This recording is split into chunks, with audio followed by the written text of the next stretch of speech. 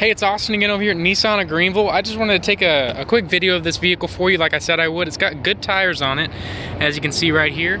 Uh, I didn't see a whole lot of scratches or anything on this vehicle, but you've got your, your lumbar support button right here. You can move it all around, move it up or down, uh, back and forward. It's got your parking brake over here. You've got all your light controls here. Um, right here you've got one screen, but still, I, I honestly think it's it's better than that Acura. Uh, you've got all your different heated seats and stuff like that. All your different climate controls down there. The little knob to control stuff on the the uh, screen up at the front. And once again, leather seats that are in almost perfect condition. And right back here, you've got enough room for people to sit in the back.